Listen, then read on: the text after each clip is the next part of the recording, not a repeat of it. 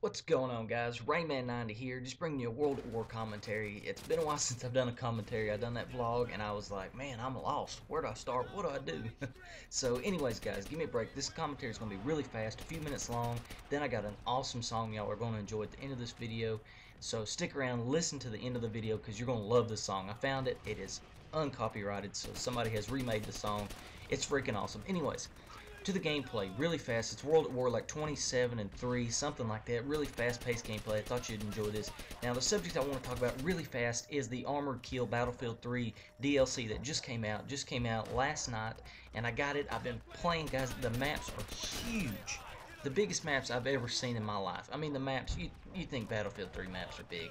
Wait till you see these maps. They're huge. Got the AC-130, got new jets, new choppers, new tanks, all kinds of new vehicles. So stick around tomorrow I'm going to try to post a gameplay with those new vehicles with the AC-130 but I was I'm not gonna lie I'm a little disappointed in the AC-130 it flies pretty low for 130 and it's pretty daggum easy to kill in a jet or even in a helicopter. So with that in mind I'm not sure that a AC-130 gameplay is going to be possible. Maybe post, uh, I might even, you know, link clips together or something to make some kind of AC-130 montage and do a commentary over it.